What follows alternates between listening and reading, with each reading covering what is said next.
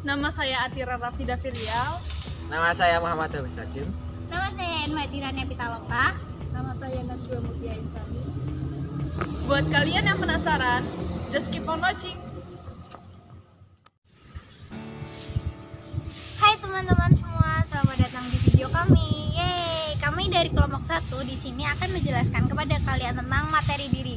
Nah, sebelumnya di materi diri itu ada beberapa komponen yang melekat pada diri kita, yaitu yang pertama ada harga diri, kedua konsep diri, ketiga identitas diri, keempat ada identitas sosial, dan yang kelima ada presentasi diri. Nah, untuk saat ini kelompok kami akan menjelaskan kepada kalian tentang apa itu presentasi diri. Sebelumnya, kalian ada yang tahu nggak sih presentasi diri itu apa? Nah, sama-sama ingin tahu, mari kita ikutin terus video kami. Yeay!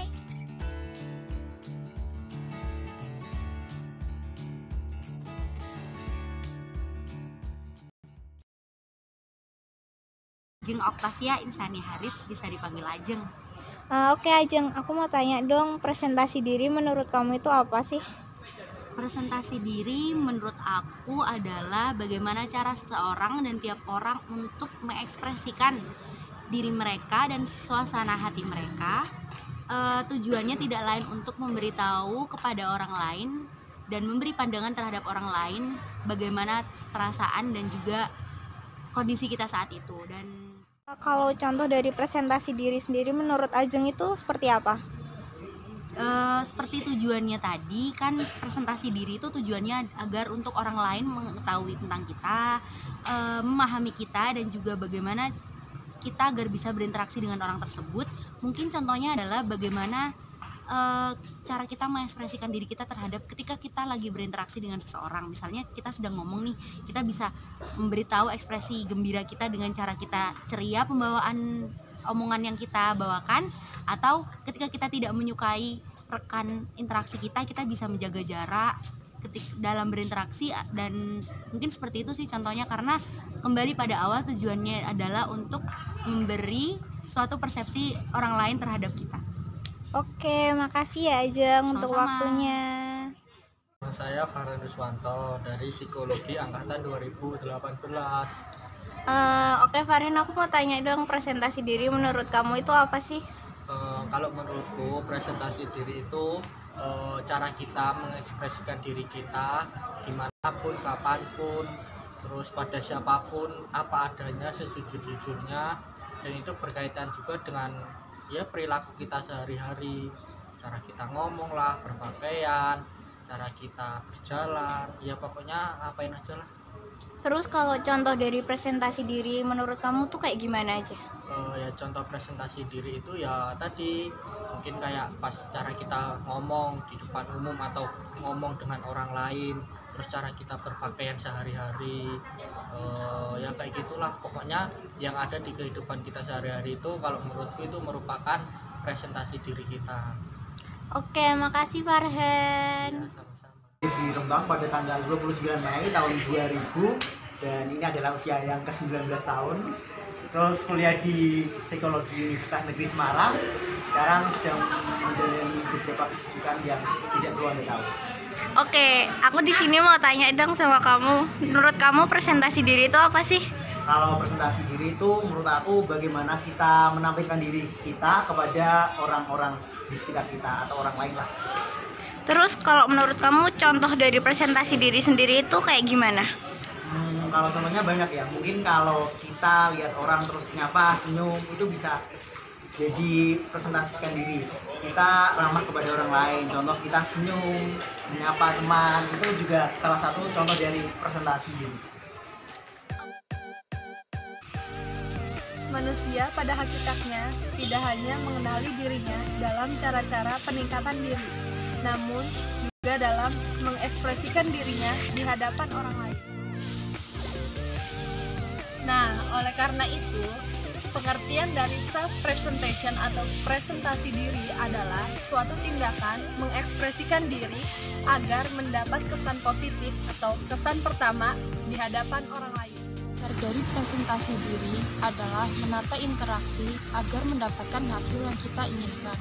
Adanya presentasi diri yaitu supaya kita dapat mempengaruhi orang lain, supaya kita disukai orang lain, ingin memperbaiki posisi, dan memelihara status dan sebagainya.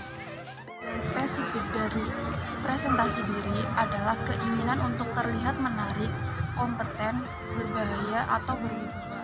Secara spesifik, orang-orang mencoba menampilkan identitas yang berbeda-beda dari dirinya di dalam situasi yang berbeda-beda pula.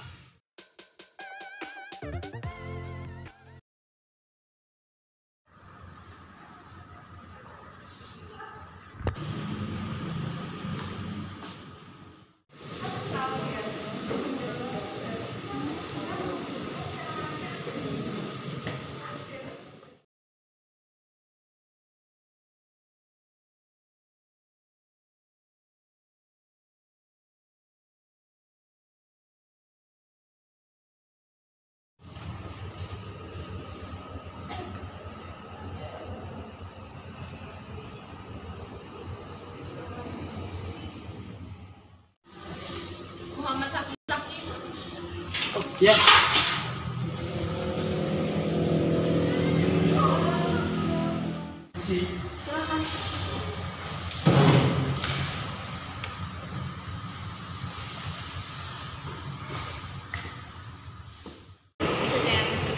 Silakan.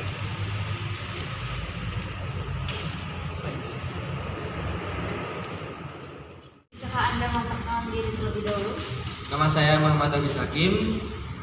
Umur saya 20 tahun. Saya lahir di Magelang 1990 pada tanggal 29 Agustus. Apa kelebihan yang Anda miliki? Saya itu orangnya cenderung perfeksionis. Jadi apa pun yang saya kerjakan, saya biasanya tidak akan meninggalkan pekerjaan tersebut sebelum pekerjaan itu terselesaikan secara sempurna. Kemudian saya juga orangnya tepat waktu, apa pun yang saya hadiri saya tidak pernah telat dalam acara tersebut. Dan kekurangannya? Eh, kekurangan saya itu suka gak sabaran. Maksudnya gak sabaran itu kalau saya kerjanya kurang ada yang kurang gitu saya gak sabaran pengen ngerjain gitu. Jadi langsung step banyak, gak step by step. Bagaimana Anda menanggapi kekurangan? Saya sebisa mungkin akan menjadi profesional, akan menjadi pribadi yang lebih baik dari sebelumnya. Lalu jika Anda berada di titik down, bagaimana Anda menanggapinya? Saya jika di dalam titik down itu saya berusaha untuk bangkit bagaimanapun caranya dan biasanya kalau saya di titik down malah saya punya semangat yang lebih banyak gitu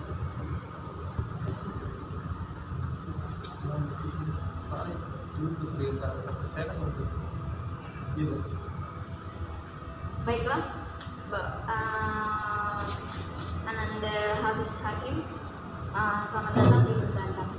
terima kasih. Video sebelumnya itu adalah salah satu contoh dari presentasi diri yaitu saat kita interview dalam bekerja. Nah, di dalam contoh tersebut ada seorang lelaki bernama Aziz Hakim sedang melamar suatu pekerjaan di sebuah perusahaan. Nah, di situ dia melakukan presentasi diri saat saat sedang wawancara dengan HRD yang ada di tempat tersebut. Terima kasih untuk teman-teman semua yang sudah menonton video kami. jangan lupa like komen, dan share. Dan semoga bermanfaat untuk kalian semua. Dadah!